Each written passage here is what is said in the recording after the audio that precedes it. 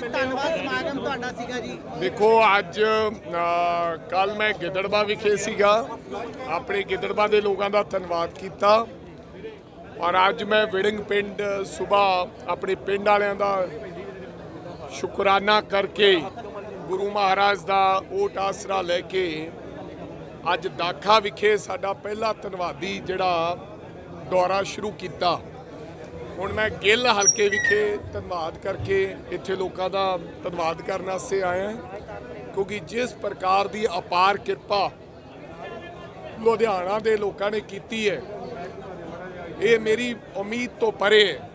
ਔਰ ਇਹਨਾਂ ਦਾ ਇੱਕ ਸਵਾਲ ਹੁੰਦਾ ਸੀ ਕਿ ਐਮਪੀ ਮੁੜ ਕਦੇ ਵੇਖਿਆ ਨਹੀਂ ਜਿਹੜਾ ਐਮਪੀ ਜਿੱਤ ਜਾਂਦਾ ਸੋ ਕਿਉਂਕਿ ਇਸ ਤੋਂ ਬਾਅਦ ਬਾਈ ਇਲੈਕਸ਼ਨ ਜਲੰਧਰ ਹੈ ਸੋ ਮੈਂ ਆਖਿਆ ਪਹਿਲਾਂ ਇੱਕ ਵਾਰੀ ਧੰਨਵਾਦੀ ਦੌਰਾ ਸ਼ੁਰੂ ਕਰ ਦਈਏ ਸਾਰੇ 9 ਦੇ 9 ਹਲਕਿਆਂ 'ਚ।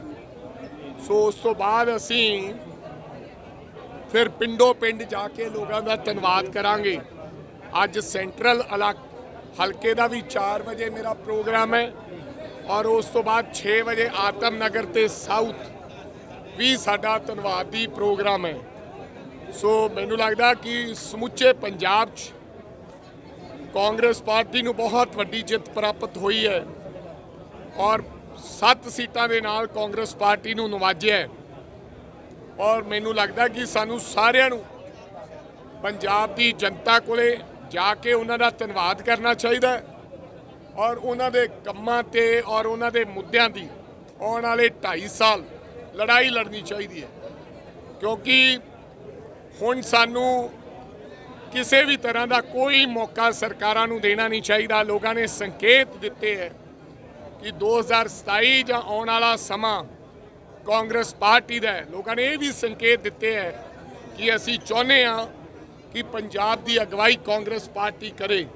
ਔਰ ਮੈਨੂੰ ਪੂਰਨ ਉਮੀਦ ਹੈ ਕਿ ਕਾਂਗਰਸ ਪਾਰਟੀ ਦਾ ਸਮੁੱਚਾ ਵਰਕਰ ਅਸੀਂ ਆਉਣ ਵਾਲੇ ਸਮੇਂ 'ਚ ਪੰਜਾਬ ਦੇ ਲੋਕਾਂ ਦੀ, ਪੰਜਾਬ ਦੇ ਮਜ਼ਦੂਰਾਂ ਦੀ, ਕਿਸਾਨਾਂ ਦੀ, ਵਪਾਰੀਆਂ ਦੀ ਅਸੀਂ ਆਵਾਜ਼ ਦੇਸ਼ ਦੀ ਸੰਸਦ ਵਿੱਚ ਔਰ ਦੇਸ਼ ਦੀ ਪੰਜਾਬ ਦੀ ਵਿਧਾਨ ਸਭਾ ਵਿੱਚ ਬੁਲੰਦ ਕਰਾਂਗੇ। ਸਰ ਲੁਧਿਆਣੇ ਦੇ ਲੋਕ ਤੁਹਾਨੂੰ ਕਿਵੇਂ ਕੰਟੈਕਟ ਕਰ ਸਕਦੇ ਹਨ? ਕਿੱਥੇ ਤੁਹਾਡਾ ਆਫਿਸ ਵਗੈਰਾ ਕਿੱਥੇ ਬਣ ਰਿਹਾ ਰਾਜਾ ਵੜਿੰਗ ਨਾਲ ਵੈਸੇ ਤਾਂ ਹਰ ਜਗ੍ਹਾ ਤੇ ਸਾਡੇ ਨੁਮਾਇੰਦੇ ਬੈਠੇ ਹੈ ਕਿਉਂਕਿ ਇਹ ਚੇਨ ਨਾਲ ਚੇਨ ਜੁੜਦੀ ਹੈ। ਬਲਾਕ ਪ੍ਰੈਜ਼ੀਡੈਂਟਸ ਨੇ ਡਿਸਟ੍ਰਿਕਟ ਪ੍ਰੈਜ਼ੀਡੈਂਟ ਨੇ ਸਾਡੇ ਕੰਟੈਸਟਡ ਕੈਂਡੀਡੇਟਸ ਨੇ ਔਰ ਬਹੁਤ ਸਾਰੇ ਲੋਕਾਂ ਦਾ ਮੇਰੇ ਨਾਲ ਸਿੱਧਾ ਸੰਪਰਕ ਹੈ। ਲੇਕਿਨ ਅਸੀਂ ਜਲਦੀ 5-4 ਦਿਨਾਂ ਦੇ ਅੰਦਰ ਅੰਦਰ ਲੁਧਿਆਣਾ ਦੇ ਵਿੱਚ ਇੱਕ ਆਫਿਸ ਦਾ ਨਿਰਮਾਣ ਕਰਕੇ ਲੋਕਾਂ ਨੂੰ ਉਸ ਆਫਿਸ ਦਾ ਨੰਬਰ ਤੇ ਉੱਥੇ ਆਪਣੇ ਵਿਅਕਤੀ, ਸੱਜਣ, ਸਾਥੀ ਛੱਡ ਦਿਆਂਗੇ ਔਰ ਇੱਕ ਸਮੇਂ ਸੀਮਾ ਨਿਸ਼ਚਿਤ ਕਰ ਦਿਆਂਗੇ ਜਿੱਥੇ ਉਹ ਜਾ ਕੇ ਆਪਣਾ ਕੰਮ ਵੀ ਕਰਾ ਸਕਦੇ ਔਰ ਮੇਰੇ ਤੱਕ ਉਹ ਮਿਲਣ ਦਾ ਕੰਮ ਔਰ ਆਪਣੀ ਮੇਰੇ ਨਾਲ ਗੱਲਬਾਤ ਵੀ ਕਰ ਸਕਣਗੇ ਬਿੱਟੂ ਨੇ ਇੰਟਰਵਿਊ ਦੇ ਵਿੱਚ ਕਿਹਾ ਕਿ ਮੈਂ ਜਦ ਮੈਨੂੰ ਹੁਣ ਮੰਤਰਾਲੇ ਮਿਲ ਗਿਆ ਹੈਗਾ ਤੇ ਜੇ ਸੀਐਮ ਰਾਜਾ ਵੜਿੰਗ ਦੀ ਸੀਐਮ ਜਾਂਚ ਨਹੀਂ ਕੀਤੀ ਜਾਵੇ ਨਹੀਂ ਤਾਂ ਮੈਂ ਇਧਰੋਂ ਈਡੀ ਦੀ ਅ, ਜਾਂਚ ਕਰਾਵਾਂਗਾ ਚਲੋ ਮੇਰੀ ਇਹ رائے ਹੈ ਮੇਰੇ ਭਰਾ ਨੂੰ ਮੇਰੀ ਜਾਂਚ ਜਿਹੜੀ ਕਰਾਉਣੀ ਹੈ ਉਹਨਾਂ ਦਾ ਪ੍ਰਮਾਤਮਾ ਉਹਨਾਂ ਨੂੰ ਚੜ੍ਹਦੀ ਕਲਾ ਬਖਸ਼ੇ ਲੇਕਿਨ ਪੰਜਾਬ ਨੇ ਇਹਨਾਂ ਚੀਜ਼ਾਂ ਤੋਂ ਕਦੇ ਕੁਝ ਨਹੀਂ ਖੱਟਿਆ ਮੈਂ ਦੇਖਿਆ ਪੁਰਾਣਾ ਇਤਿਹਾਸ, ਤੁਸੀਂ ਦੇਖ ਲਓ ਕੈਪਟਨ ਅਮਰਿੰਦਰ ਸਿੰਘ ਤੋਂ ਲੈ ਕੇ ਬਾਦਲ ਪਰਿਵਾਰ ਤੱਕ ਦਾ।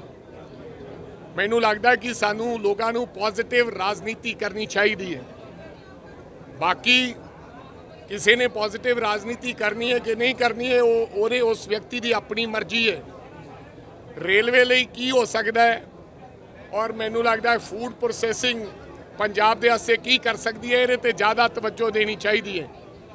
ਅਗਰ ਇਸ ਦੇ ਬਾਵਜੂਦ ਵੀ ਤੁਹਾਡੇ ਕੋਲੇ ਸਮਾਂ ਬਚਦਾ ਹੈ, ਤਾਂ ਫਿਰ ਤੁਸੀਂ ਇਹੋ ਜਿਹੇ ਕੰਮਾਂ ਵਾਸਤੇ ਆਪਣੀ ਤਵੱਜੋ ਲਾ ਸਕਦੇ ਹੋ। ਲੇਕਿਨ ਮੈਂ ਜਿਸ ਵਿਅਕਤੀ ਨੇ ਨੂੰ ਮੈਂ ਪੜ੍ਹਦਾ ਜਿਸ ਵਿਅਕਤੀ ਨੂੰ ਮੈਂ ਪੋਲਿਟਿਕਸ ਦਾ ਭੀਸ਼ਮ ਪਤਾਮਾ ਮੰਨਦਾ ਜਦੋਂ ਮੈਂ ਉਹਨਾਂ ਨੂੰ ਪੜ੍ਹਦਾ ਔਰ ਵੇਖਦਾ ਉਹ ਇਹ ਕੀ ਸਿੱਖਿਆ ਦਿੰਦੇ ਆ ਕਿ ਆਪਣੀ ਤਰੀਕੇ ਨਾਲ ਪੋਜ਼ਿਟਿਵ ਰਾਜਨੀਤੀ ਕਰੋ।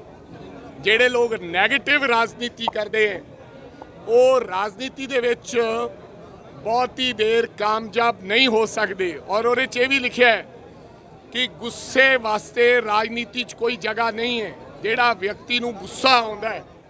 ਜਿਹੜੇ ਵਿਅਕਤੀ ਦੇ ਮਨ ਦੇ ਵਿੱਚ ਬਦਲਾਖੋਰੀ ਦੀ ਭਾਵਨਾ ਹੈ ਉਹ ਵਿਅਕਤੀ ਜ਼ਿਆਦਾ ਦੇਰ ਰਾਜਨੀਤੀ 'ਚ ਔਰ ਲੋਕਾਂ 'ਚ ਟਿਕ ਨਹੀਂ ਸਕਦੇ। ਵੜਿੰਗ ਸਾਹਿਬ ਇੱਕ ਇਹ ਵੀ ਆ ਰਿਹਾ ਹੈ ਕਿ ਅੰਮ੍ਰਿਤਾ ਵੜਿੰਗ ਜੀ ਨੂੰ ਤੁਸੀਂ ਗਿੱਦੜਵਾ ਤੋਂ ਚੋਣ ਦੀ ਜਿਹੜੀ ਤਿਆਰੀ ਕਰ ਰਹੇ ਹੋ। ਪਤਾ ਨਹੀਂ ਕਿੱਥੋਂ ਆ ਰਿਹਾ ਹੈ, ਮੈਨੂੰ ਲੱਗਦਾ ਤੇਰੇ ਮਨ 'ਚ ਹੀ ਇਕੱਲੇ ਦੇ ਆ ਰਿਹਾ ਹੈ। ਅਦਰਵਾਈਜ਼ ਤਾਂ ਹਦੇ ਕੁਝ ਨਹੀਂ ਆ ਰਿਹਾ। ਆਪਣੀ ਮਰਜ਼ੀ ਨਾਲ ਹੀ ਪੱਤਰਕਾਰ ਮੇਰੇ ਭਰਾ ਕਹਿ ਦਿੰਦੇ ਐ ਕਿ ਮੈਂ ਕੀ ਕਹਿ ਰਿਹਾ ਗਿੱਦੜਵਾ ਛੱਡਣਾ, ਇਹਦਾ ਮਤਲਬ ਇਹ ਤਾਂ ਨਹੀਂ ਕਿ ਚੁਣਾਵ ਲੜਾਂਗੇ ਤਾਂ ਨਹੀਂ ਛੱਡਾਂਗੇ।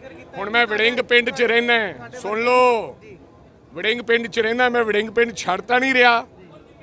ਮੇਰੇ ਕਹਿਣ ਦਾ ਮਤਲਬ, ਤੁਸੀਂ ਇਹ ਕਿਹਾ ਕਰੋ, ਇਹ ਮੇਰਾ ਇੱਕ ਸਵਾਲ ਹੈ। ਨਾ ਕਿ ਇਹ ਵੀ ਸੁਣ ਨੂੰ ਆ ਰਿਹਾ ਹੈ। ਹਰ ਗੱਲ ਨੂੰ ਪੱਤਰਕਾਰ ਸਾਥੀ ਕਹਿੰਦੇ ਮੈਨੂੰ ਸੁਣਨ ਨੂੰ ਆ ਰਿਹਾ। ਨਹੀਂ ਸੋ ਇਸ ਪ੍ਰਕਾਰ ਦੀ ਹਜੇ ਕੋਈ ਤਜਵੀਜ਼ ਨਹੀਂ ਹੈ। ਕਾਂਗਰਸ ਹਾਈ ਕਮਾਂਡ ਜੋ ਫੈਸਲਾ ਕਰੇਗੀ, ਰਾਜਾ ਵੜਿੰਗ ਉਹ ਮੰਨੇਗਾ। ਹਜੇ ਮੈਂ ਧੰਨਵਾਦ ਕਰਦੇ ਆ ਮੈਂ ਵਿਜ਼ਨ ਡਾਕੂਮੈਂਟ ਡਰਾਈਵ ਇਟ ਦੇ ਨਾਮ ਤੇ ਆਪਾਂ ਲੋਕਾਂ ਨੂੰ ਦਿੱਤਾ ਸੀ। ਲੁਧਿਆਣਾ ਦੇ ਪ੍ਰਮੁੱਖ ਮੁੱਦੇ ਜਿਹੜੇ ਨੇ, ਜਿਵੇਂ এনवायरमेंट ਦਾ ਇਸ਼ੂ ਹੈ, ਬੁੱਢੇ ਨਾਲੇ ਦਾ ਇਸ਼ੂ ਹੈ ਇੰਡਸਟਰੀ ਦਾ ਇਸ਼ੂ ਹੈ, ਇਹਨਾਂ ਮੁੱਦਿਆਂ ਤੇ ਆਉਣ ਵਾਲੇ ਸਮੇਂ 'ਚ ਆਪਾਂ ਗੱਲ ਕਰਾਂਗੇ।